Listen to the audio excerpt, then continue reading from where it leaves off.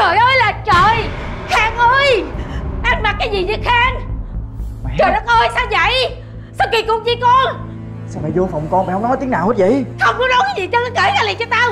Cởi ra trời ơi! Mày bình tĩnh đi. Không cái có này, bình tĩnh gì hết trơn á. Cái này là con chỉ thử thôi chứ không có ý gì mà tầm bậy tầm bạ đâu mày đừng có làm như vậy. Thử cái gì mà thử? Đây là đồ phụ nữ mà. Con là đàn ông mà. Sao biến thái vậy trời? Con biết rồi con hiểu ý của mẹ rồi thôi rồi con cởi con cởi mẹ đi ra đi con cởi. Tao nói cho mày nghe nè Mày không có được quyền để con con Ngọc nó thấy những cái thứ này không con biết rồi mà. Cởi ra đi. Mẹ đi ra ngoài đi con cởi ra. Ơi biến thái gì đâu á. Dạ ra nhận hàng giùm em Khang ơi. À, Ủa? dạ Anh Khang có nhà không chị? Dạ anh Khang bận rồi. Dạ cái hàng này của anh Khang nè. À bao nhiêu vậy? Dạ anh à, thanh toán trên app rồi. À, Em cảm ơn nha. Dạ rồi cảm ơn anh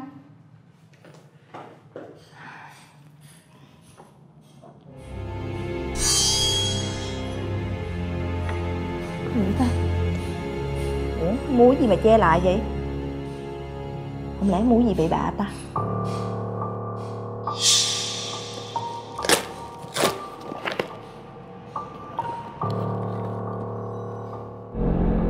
Gì hả? hình như ai mới giao hàng cho anh em làm gì vậy sao lấy đồ anh Cái này là sao? Anh mua cho con nhỏ nào? Anh đang ngoại tình đúng không? Ngoại tình gì mua nhỏ nào gì? Anh mua cho em đó. Tôi không bao giờ xài mấy cái này. Với lại cái xa này cũng không phải xa của tôi luôn. Anh nói đi Anh ngoại tình với con nhỏ nào? Sao? Không nói được luôn chứ gì? Hả? Tôi hỏi là anh mua cho con nhỏ nào? Cái chuyện gì mà hai đứa ồn ào vậy? Hả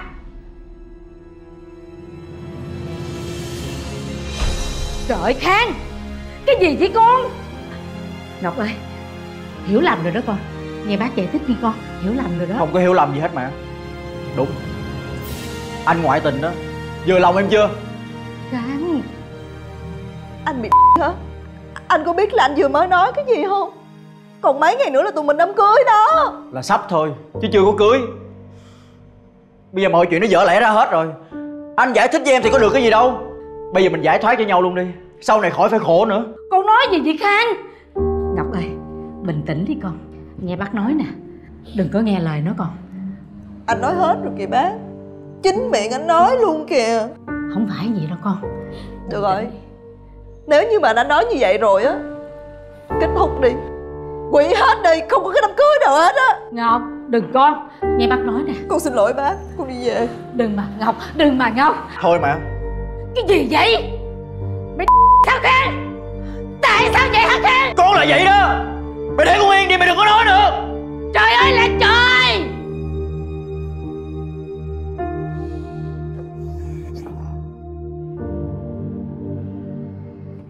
Trời ơi là trời!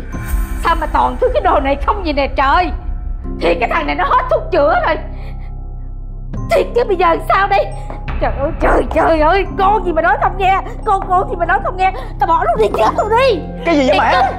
sao mày vô mày dục hết đồ của con vậy? Dùng cái là gì? Những cái này là cái gì đây? Hả? Cái này là cái gì đây? Thì cái này là đồ của con mày cứ kệ con đi mày cứ xíu chuyện con hoài vậy. Trời ơi! Mẹ lại con nè. Con làm ơn á. Con sống như một người đàn ông bình thường được không Khang Sao con cứ làm khổ mẹ hoài vậy? Tại vì tại vì mẹ đang không sống trong hoàn cảnh của con mẹ không hiểu con chịu đựng cái gì. Con Mẹ sẽ không cần hiểu gì hết trơn á. Mẹ chịu hết nổi rồi. Mẹ ơn mẹ chịu hết rồi. Mẹ chịu hết nổi rồi đó. Thôi mà mẹ. Ôi trời ơi.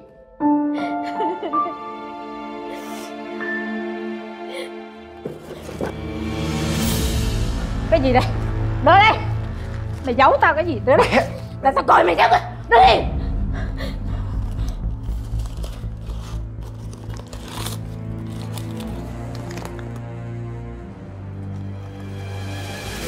Nguyễn Hoàng Khang, chẩn đoán dương tính, ung thư vú.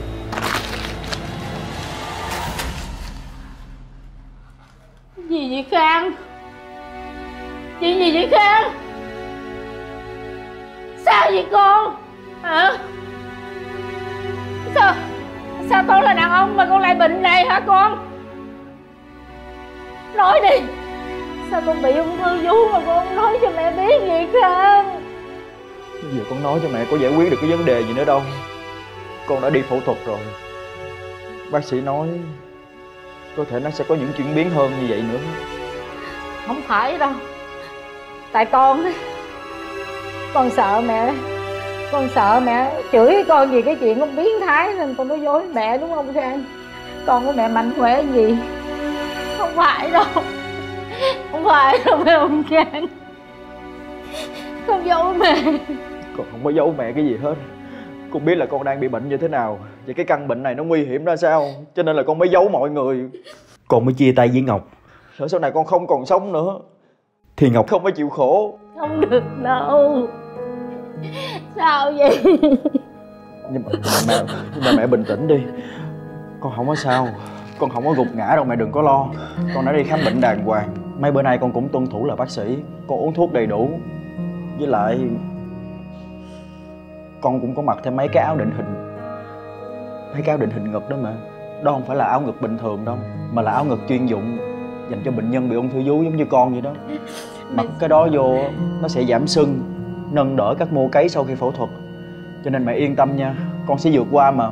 Mẹ yên tâm nha mẹ Mẹ xin lỗi con Mẹ xin lỗi con Mẹ đã hiểu lầm con rồi Trang ơi Con mẹ. Hay là chiều nay con dẫn mẹ đi khám bệnh chung với con luôn. Tại vì căn bệnh này nó có tính chất di truyền. Nhiều khi con bệnh thì mẹ cũng có thể bị bệnh luôn đó mẹ Không Mẹ không sợ đâu. Mẹ không có sợ chết. Mẹ chỉ sợ con của mẹ bị bệnh Mẹ sợ con bị đau lắm. Không sao đâu, mẹ đừng có lo nha. Con sẽ vượt qua mà mẹ. Con sẽ cố gắng mà. Mẹ yên tâm nha.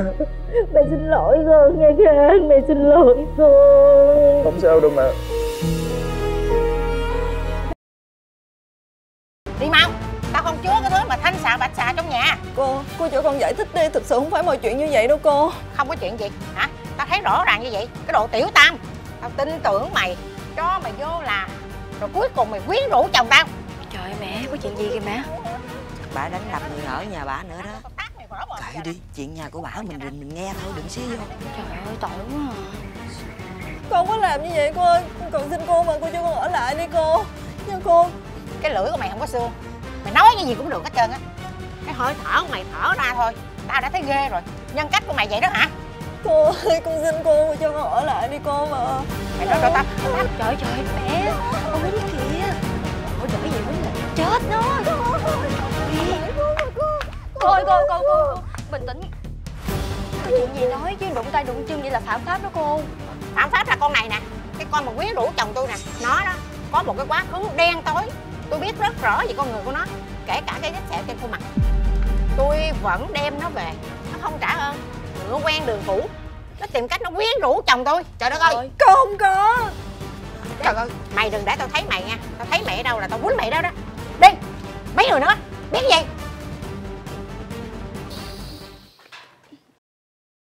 À, sao kỳ vậy? Sao để người ta nói kỳ cục vậy? Hả? Con bị hiểu lầm. Trời, hiểu lầm hả? Nhưng mà bây giờ vậy, vậy thì thôi cũng đi kiếm chỗ khác làm đi chứ là ở lại đây không yên với bà đâu. Không có chỗ nào nhận con á. Ai cũng biết quá khứ của con rồi Họ sợ dẫn con về Con giật chồng của họ. Không có trách người ta được.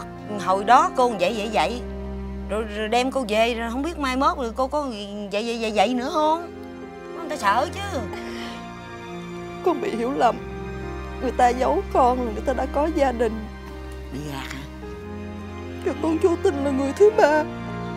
Và tất cả những hậu quả đó Con đã trả giá bằng vết sẹo này thấy cũng tội quá Thôi, chị đừng có buồn nữa Ai mà không mắc sai lầm đúng không Quan trọng là biết sửa sai Hay vậy đi Nhà em cũng đang cần giúp việc Chị về nhà em làm ha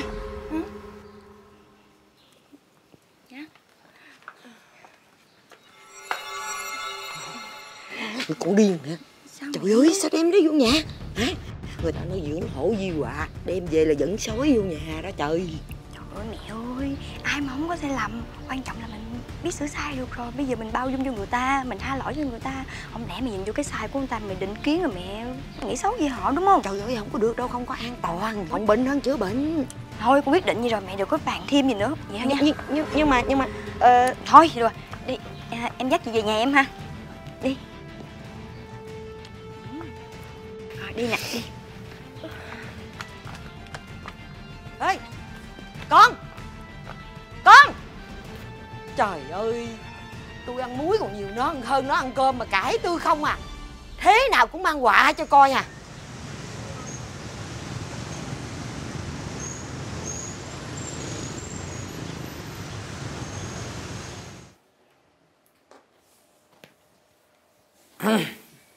Ha. Dạ. Chỗ này dơ nè. Em cát không mà đi nhám hết cái chân Dạ, ra dạ. bên này giùm anh cái nha. Dạ.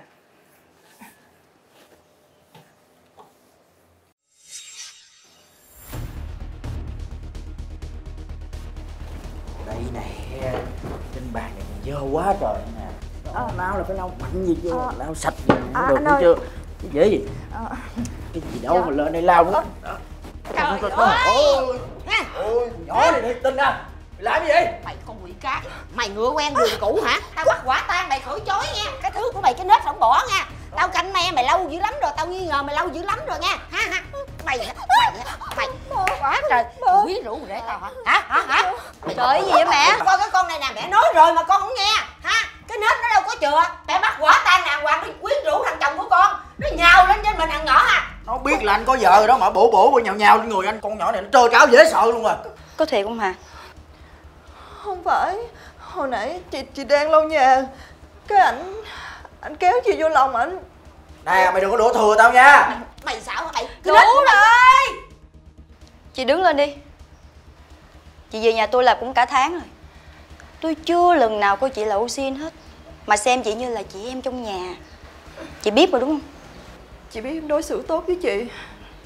Nên chị không có dám làm gì sai với em hết. Không dám không dám mà nhào lên mình thằng rể tôi vậy đó. Hai con mắt tôi thấy rõ ràng nè. Dòm nè lông y vậy không có qua mắt được tôi đâu. Đủ rồi mẹ.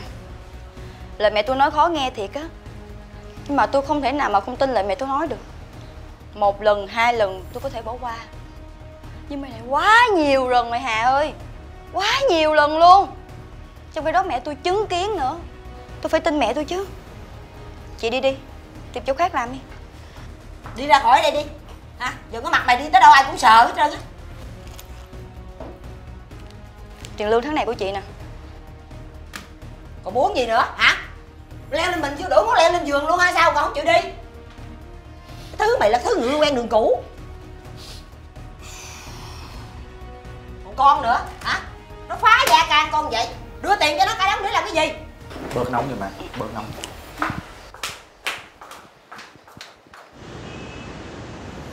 Trời qua thôi. nè Trời ơi, mày Ây da, phản bội con gái tao Hả? Mày phản bội con gái tao Rồi mày đi lăng nhăng gì vậy hả? Mấy con cà xanh cà đỏ gì đâu hết rồi hả? Cà tím gì đó mày kêu ra đây thôi mà Hả? em mẹ bình tĩnh đi Bình tĩnh cái gì? Hả? Mày nha Mày đi đi lăng nhăng như vậy mày còn điêu rao Đâu. tùm lum mày, mày bình tĩnh hả mày? Mày kêu mấy con đó ra đây Tiểu tam, tiểu tứ gì kêu hết ra đây cho tao thôi mẹ ngoài đường ngoài xá mà bình tĩnh đi gì Đường xá gì mày làm cái chuyện mày không mắc cỡ Mắc gì tao phải mắc cỡ hả? Thôi mà mẹ Sao giờ này con mới tới?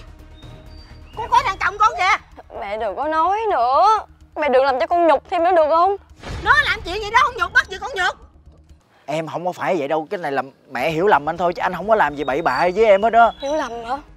Anh đi em đây À. Anh là đồ tôi. Ừ. Thằng này là vậy đó rồi sao? Cô cũng nghĩ xấu như người ta cô bày đặt cô chỉ hết ai Mày làm bậy mà còn đụng tới con tao hả? mẹ cô mấy người vừa phải nha đừng có nhịn làm tới à. Anh nhẫn gì hả? Cô cũng xấu như người ta với cô tốt lành gì mà cô bày đặt cô đứng đó cô la mắng tôi rồi đó mà tưởng hay lắm hả? Biến đi đi.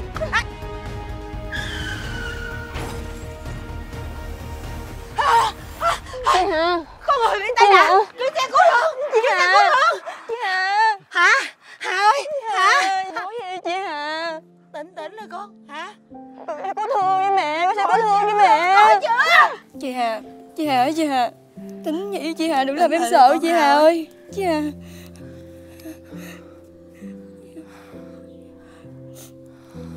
Em thảo đi chị? Thấy người sao rồi chị? Chị cứu em vậy tại vì em là người duy nhất thương xót chị. Không vì quá khứ của chị Coi chị như gia đình. Chị cảm ơn em rất nhiều. Chị muốn em sống hạnh phúc. Chị muốn Em xin lỗi chị Em hiểu lầm chị Em xin lỗi chị. Xin lỗi con Hà ơi Xin lỗi con. Cảm ơn Chị Hà Sao cứu thương đâu Thương đâu rồi? Dạ thương đâu mẹ Chị Hà thấy chưa? Dạ. ơi ba chục ngàn. Nè cái dĩ gà có chút ép này á là đã 28.900 đồng rồi. Mà anh nghĩ sao đưa ba chục ngàn vậy? Bây giờ giá cả nó leo thang hết trơn rồi. Rồi anh thấy anh ba bên nhà cái bên không? Ổng là đàn ông mà ổng đi chợ ổng nấu ăn cho vợ của ổng mà lúc nào ổng cũng mua rất là nhiều đồ ăn về để tủ lạnh. Chuyện nhà mình thì em lo chuyện nhà mình đi nè. Lo chuyện nhà thiên hạ làm cái gì? Còn khen chồng người ta quá hả? Thích sống cuộc sống vậy lắm đúng không? Dọn đồ qua bển ở rồi cung phụng ổng đi. Anh nói chuyện hay quá. Thôi thôi thôi thôi. Cho mẹ xin. Hai đứa đừng có cãi nhau nữa. Vì ba cái đồng đi chợ mà cãi nhau coi nó kỳ lắm con. Đừng có cãi nữa. Cho mẹ xin đi. Con có muốn cãi với ảnh đâu ăn uống á mà chắc chưa từng đồng từng cắt như vậy. Ừ anh tiết kiệm đi rồi anh đem cho bệnh viện anh đưa cho bệnh viện. Đừng có nói như vậy. Chồng con á Nó có cái nỗi khổ riêng của nó. Phải biết gói ghém. Từ ngày mai á Dứt khoát đi chợ đừng có mua thịt cá gì cho mẹ hết trơn á. Mẹ là thích ăn rau xào, rau luộc Ăn với cơm vậy là được rồi. Không có được mẹ mẹ phải ăn uống cho nhiều chất dinh dưỡng. Mẹ đang bệnh nữa đâu có nói vậy được đâu mẹ. Con đừng có cãi mẹ Cứ mua vậy đi. Nói không? Rồi, vậy đi không có cãi nữa. Con nè, coi dọn xuống này nấu cơm ăn đi Chồng con nó còn đi làm nữa. Ăn uống tính từng đồng từng cắt ai mà Thôi.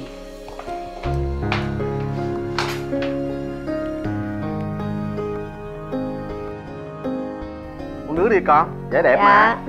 Tôi thích là con mừng. Ủa? Ba mới qua hả Ừ Ba tiện đường ghé thôi chứ không có gì đâu con. Dạ em chào chị. Coi như con đã đo xong hết rồi. Dạ. Vậy á Con Mai khi nào mới xong? Hôm nay cũng rảnh. Mai chắc cỡ một tuần con xong á. Cảm ơn con. Dạ. Nè Con cầm giải về đi. Mai cho đẹp. Còn tiền bạc á Con nói với thằng Khang Nó đưa cho con nghe. Dạ. Em về hả chị? Sao nay con đi làm về sớm vậy Dạ hết việc sớm nên con về sớm ba. Ờ Lát nữa thằng Khang nó về á Con nói với nó Ba qua nhà bác Bảy thăm ổng lát. Dạ. Ba về.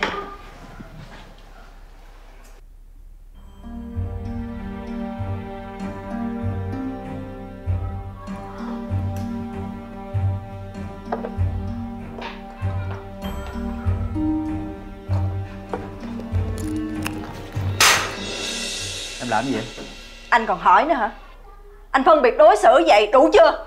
Anh phân biệt đối xử cái gì? Ba của anh á Anh hết cho tiền lần này tới lần khác Đồ á thì sắm biết Còn mẹ của tôi á Có miếng ăn à Mà anh cũng kỳ kèo tính toán từng đồng từng bạc. Dù gì á Mẹ cũng nuôi tôi mà. Mẹ nuôi tôi khôn lớn đến ngày hôm nay á Để mẹ gả cho anh mà.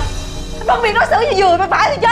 Anh phân biệt đối xử hồi nào anh tính toán với mẹ em cái gì mà em nói anh như vậy? Anh đừng có giải thích bị biện nữa.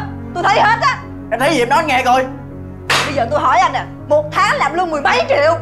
Mà tại sao mỗi lần tôi đi chợ á Anh đưa tiền cho tôi tính toán từng đồng từng cắt? Vậy cái tiền đó để đâu? Hả? Hay là anh đem gì cho ba mẹ của anh? Không có. Vậy anh đem tiền cho gái đúng không? Hả? Mẹ của tôi á Ở trên đây nè đi chữa bệnh Mà anh ăn muốn anh ghi kèo từng đồng từng cắt vậy á. Ví dụ mà sống không được á Thì ly dị đi. Con. Mẹ. Cái gì vậy? Mẹ đang bệnh mẹ ra đây chi vậy? Sao mà? Trời đất ơi Sao mà cãi nhau dữ vậy? Mẹ hỏi ảnh kìa. Ba mẹ ảnh nó tin cung phụng. Mua cái này mua kia. Còn mẹ đang bệnh nè. Mua đồ ăn có chút xíu à Mà nói này nói nọ rồi còn đưa con ba chục ngàn đi chợ mua đồ nữa. Có gì từ từ mà nói. Nói cái gì? Nó biết bao nhiêu lần rồi Tiền bạc đi làm về á. Lấy để cho ai không biết nữa. Đừng có vậy. Nhìn hai đứa cãi nhau vậy mẹ không có chịu được.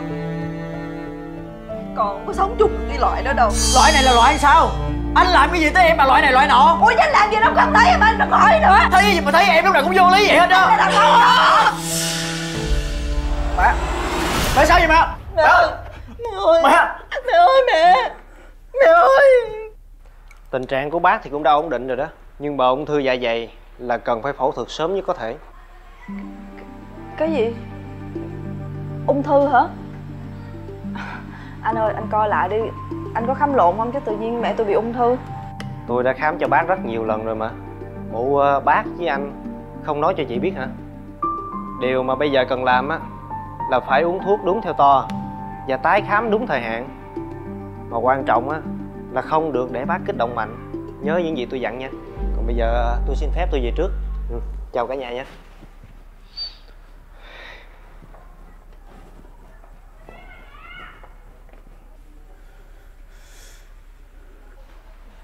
Tại sao anh biết chuyện này? Mà anh giấu tôi. Con đừng có trách chồng con. Là mẹ không có cho nó nói. Sao mẹ bị bệnh mẹ không nói con? Mẹ nói với ảnh làm cái gì? Nên mẹ sợ cái tánh của con á thì nóng nảy bợp chợp. Con mà biết mẹ mang cái bệnh này á con còn lo lắng rồi, mất ăn, mất ngủ nữa. Mẹ không muốn cho con lo lắng. Mà tội nghiệp. Từ ngày mà nó biết mẹ bệnh tới giờ, chồng con nó cày ngày cày đêm nó gom từng đồng, từng cắt, đủ tiền cho mẹ đi làm phẫu thuật. Con không có hiểu con cứ dằn vặt nhỏ hoài mà nó không có dám nói cho con nghe. Mẹ xót xa hết sức mà. Mẹ không biết nói làm sao cho con hiểu nè. Với lại đó, gia đình bên anh xui chị xui á, họ tốt với mình lắm. Mới thì sớm này nè, anh xui anh còn ghé anh thăm mẹ. Rồi còn đem sắp giải chị xui chị gửi qua. Cái sắp giải là sao mẹ? Chị xui nói à, mẹ bệnh uống thuốc hoài nó nóng nảy, nên mua sắp giải ra nó mát, mặc cho nó khỏe. Vậy mà con.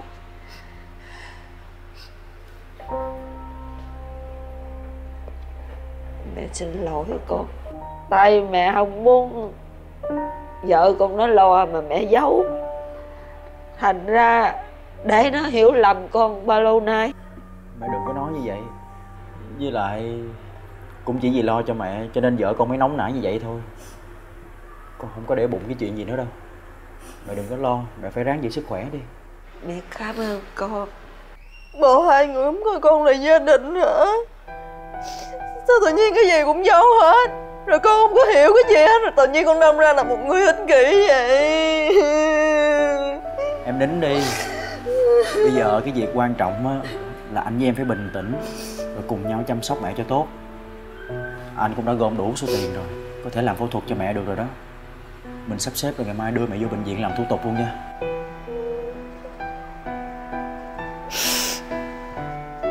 Em xin lỗi. Em không biết nên mới làm vậy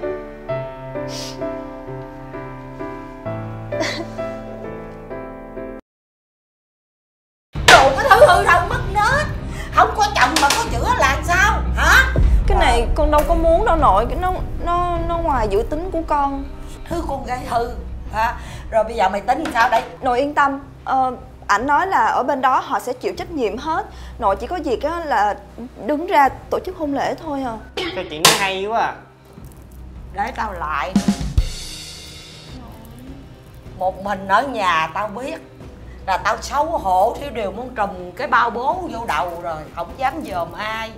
Mày đòi làm đám cưới Hàng xóm biết dòng họ biết tao có một con cháu nội hư thân. Đó rồi họ cừ vô trong mặt tao. Nội yên tâm Ở bển nói là xuống mấy người thôi hả? Mình làm nhỏ xíu thôi. Chắc bà con làng xóm người ta không biết đâu Nên nội cũng nhỏ xíu là nhiêu hả? Đẻ nhỏ cháu nội nuôi tới ba lớn vậy đem lại cặp dịch phú phạt hả? Trời ơi thiệt. Ừ. Thí dụ như giờ á cho anh qua dặm hỏi luôn á. Coi tiền đâu chị đám cưới? Chị nói tôi nghe ơi. Nè tôi nói cho chị biết nha cái nhà này không có dư tiền để mà chạy đám lo cho cái đứa con gái mà hư thân. Không biết giữ mình như chị. Bà thấy đích tôn tao nói chuyện không? Mát cái lỗ tai không? Nó nhỏ vậy mà nó còn hiểu chuyện hơn mày. Tiền vàng tao kia cỡm chắc bóp là để cho thằng đích tôn. Cục vàng của tao nó ăn học. Sau này nó còn nói giỏi tông đường. À, nó làm rạng rỡ gia phong rồi nó còn nuôi bà nội già nữa. Tiền đâu gả mày? Nội Con có ý kiến cái gì? Ờ, Dạ Ở bển á, người ta nói là người ta sẽ chịu trách nhiệm hết Người ta không có để mình lo cái gì đâu. Còn thí dụ như mà nó có thiếu á thì ờ, thì con bán xe ờ, bán điện thoại hay là con mượn bạn con bù vô cũng được. Bả mà về phận ở thì lúc đó cái nhà này là của mình mình đâu cần dành với ai nữa. Con thấy cũng được đó nội chứ vậy á, cực chị hai lắm. Nè đợi chị hai đám cưới xong á tiền mừng mình lấy trời ơi vợ cháu nội đích tôn cái, cái mặt nó sáng ngời thằng thông minh quá trời thông minh luôn vậy đó ha. Mày nói với lợi đàn trai vài bữa nữa qua đây nói chuyện. Dạ con cảm ơn nội. Rồi tới chưa? Hai ngồi chờ hỏ vậy hoài đây. Dạ tới rồi. Dạ con chào bác. Thấy cái xe thấy ghét. Rồi. Xe này chắc 1 triệu rưỡi. Gắn cái lôi vô nữa chắc kéo xe rau đi bán ngon à Vô đi Mày nói gì nói đi Dạ, thưa bác, chắc à, bác cũng biết chuyện à, cháu Lan nó lỡ có bầu. Dù sao, chuyện cũng đã lỡ xảy ra rồi. Nhưng mà cũng may là hai đứa nó thương nhau thiệt tình, cũng muốn về à, chung nhà sống để xây à, tổ ấm. Cho nên hôm nay con là đại diện nhà trai qua đây. Thôi ngưng đi ngưng, ngưng ha Ngắn gọn cục Cái chuyện mà có chữa đó là phải cưới cái chuyện tất nhiên Ăn ốc thì phải đổ vỏ Đâu có ai vô đây mà hốt Thấy không? Dạ, con cũng thưa với bác là con cũng đã coi ngày hết rồi. Tháng sau à, có ngày tốt đó, nếu được thì à, Ngày nào cũng được hết trơn hết trọi á Phải ưng rồi, rồi gả phức đi cho rồi Cứ lẹ lẹ đi Rồi, rồi còn chuyện gì nữa không? Dạ, con cũng suy nghĩ kỹ lắm rồi. Ngoài chuyện đám cưới ra, con sẽ cho một căn nhà cho tụi nhỏ nó ra riêng.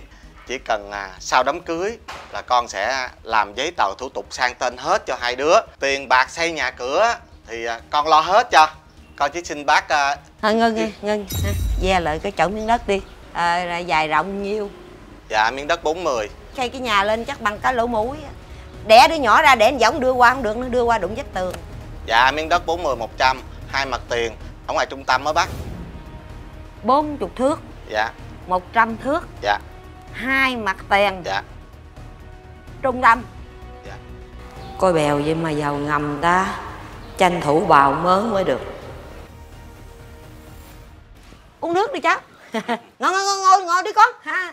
Cha con cũng tới đây rồi. Cái chuyện mà thằng con của cậu á nó làm cho con lan có chữa đó. Thì cái chuyện đó cậu làm cha cậu phải có trách nhiệm để mà xử lý cái chuyện đó là cái chuyện hiển nhiên thấy không? Ha rồi cái chuyện mà à, cất nhà rồi ra riêng cho tụi nhỏ đó là ý của cậu. Thì phải cậu phải tự lo cậu sắp xếp. Tôi giờ già cả rồi đâu có làm gì đâu có tiền bạc gì. Thành thử ra tôi không có hùng hạp gì đâu được trong đó hết trơn hết trọi. Cậu hiểu chưa? À. à, hi- hiểu à à hiểu. Cái điều thứ hai là cái gì nè? Cậu cũng biết á. Ba má ăn lan chết sớm tôi cực khổ, nuôi cháu. Nuôi cho nó răng da dài tóc lớn tòng ngồng kiểu này, ha. Rồi cái thằng con cậu nhào vô a, thằng thù nó hốt. Thôi trời bây giờ lỡ rồi, tôi gả. Nhưng mà ít ra đó, rồi cũng có một cái gì đó để nó đền bù lại cái công lao mà tôi nuôi dưỡng nó bao nhiêu năm nay, đúng không?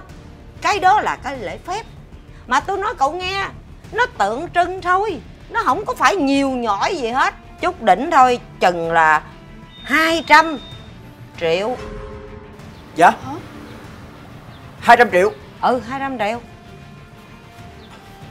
Dạ bà ơi cái này ném về là bà bán cháo rồi chứ đâu có còn là hồi môn nữa đâu bà.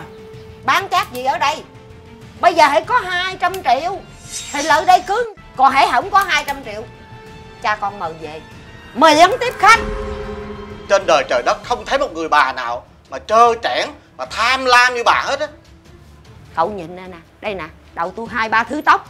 Tôi già cỡ này rồi tôi không có cần cậu dạy đời. Cậu nghĩ lại coi không có tới 200 triệu trong túi mà lợi đây đồ cưới vợ là cứ cái gì? Cho nó là không có chồng mà có chữa đi. Rồi, rồi để cho cháu nội này rẽ ra người ta nói rồi rư đầu con quan 200 triệu thì 200 triệu. Tôi sẽ tổ chức một đám cưới thật lớn Thật lành ra Để cháu Lan nở mặt nở mày Đường đường chính chính bước ra khỏi nhà này Để về nhà chồng. Chuyện đó tôi không cần biết còn nhỏ này chắc giá được rồi người ta cưới thì đi theo về bên chồng. Nữ sanh ngoại tộc con gái gả rồi như bắt nước hất đi ha. Mày không có được chia miếng nào trong đây như ta dành cho con cháu nội tao hết Thôi được rồi. không nói nữa. Đi về. Không thể nào mà ngồi bàn chuyện tiếp tục được. Tôi về. Bác ơi bác, Anh Nội gì? Sao nội nói chuyện gì kỳ vậy? Nói gì miễn ta chịu hai trăm triệu gả thôi chứ gì đâu nói. Nội nè Bác ơi! Coi coi coi coi. gái gì kìa? Mê trai kìa. Chạy giọng trí ghét. Trời ơi! Ở dưới nhà sau nghe tưởng chạy xe lôi qua không á nội? Xe lôi chứ gì nữa không xe lôi. Nội Nội. Gì đây. Chỗ đặt cọc không có một bạc nào đâu xin Con biết rồi mà hồi nãy đặt cọc được nhiêu? Chốt giá 200 Gì có 200 dạ Con tưởng đâu là 500 trở lên á mày làm như con lan chị? Mày cành vàng lá ngọc. Con chúa hay gì? 200 mặt mai người ta còn hốt. Mà 500 chắc mày để dành làm mắm luôn. Ờ. 200 với cái nhà này Con thấy cũng đủ á nội. Đủ vậy? Không ý, Hả? ý con là đủ tiền đi ăn học á. À, rồi. ráng ăn học thành tài nghe không? Dạ. Mày mốt ha con mà có tiền ha Con đưa nội đi du lịch hết cái thế giới này luôn. Nội muốn đi paris Có Paris nội muốn đi ấn độ. Có Ấn Độ luôn. Nói chung con dẫn nội đi đâu nội đi đó. Bởi vậy con thương nội nhất luôn á. Trời ơi cục vàng của nội. Ừ, ừ, ừ. trời ơi cái gì vậy? Trời ơi trời ơi nhà của tôi mà. Nhà của bà đâu? Sao hốt bộ tôi dũng có chạy vậy vậy nè. Tôi tôi tôi tôi tôi thưa công an. Bà thưa đi Để coi công an bắt ai. Cái thằng cháu cưng của bà đó Nó cầm cái sổ nhà này đó 2 tỷ cho đại ca tôi rồi. Bây giờ hai bà cháu cút ra khỏi nhà. Không nói nhiều. Quá ê, ê, nhà nhà của tôi mà. Ơi ơi nhà của tôi nhà của tôi. Ơi nhà của tôi nhà của tôi mở cửa. Trời ơi nhà của tôi mà. Trời ơi. Nó nói thiệt hả? Mày đem sổ đỏ của nội mày đi cầm hả? Chứ giờ nhà mình còn gì cầm ngoài số đỏ đâu nội. Trời ơi trời ơi dành dụm bao nhiêu năm mua được có cái nhà để dưỡng già bây giờ nó cờ bạc nó đem nó cầm rồi tôi sống làm sao đây? Đi ra gầm cầu ngủ hay sao? Nội Nội có tin con không nội? Mày muốn gì? Nội Nội có muốn Có làm rạng danh cái gia đình này không nội? Rất muốn. Rồi cho con mượn 200 nữa đi nội bà nội cha mày trời ơi. cháu vàng nè cháu bạc nè cháu ngọc nè. Trời ơi bây giờ hút cháu rùa rồi đây nè. Trời ơi. Chứ giờ tiền đâu trả tôi nói giờ. Bà nội cha mày